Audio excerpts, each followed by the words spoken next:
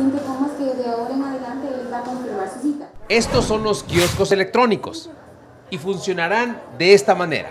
El paciente llega con su DUI, lo introduce, acá están nuestras amables ejecutivas de atención al usuario que le van a explicar a los pacientes cómo es el proceso. Una vez se introduce el DUI, nos va a dar un ticket de confirmación de cita. Este ticket va a decir el piso, la, la especialidad del médico, el nombre del médico, la hora de la consulta y automáticamente nos confirma la cita.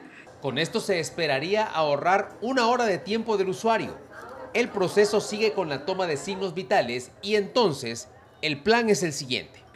El médico da la atención y automáticamente, una vez él confirma en, en cuánto tiempo quiere ver al paciente, además emite las boletas que sean necesarios, rayos X, exámenes de laboratorio y las recetas. Y una vez cierra el proceso, el paciente es despachado y en la recepción donde estaba la enfermera que lo pasó, esta le va a dar los tickets para que pueda ir directamente a farmacia por sus medicamentos.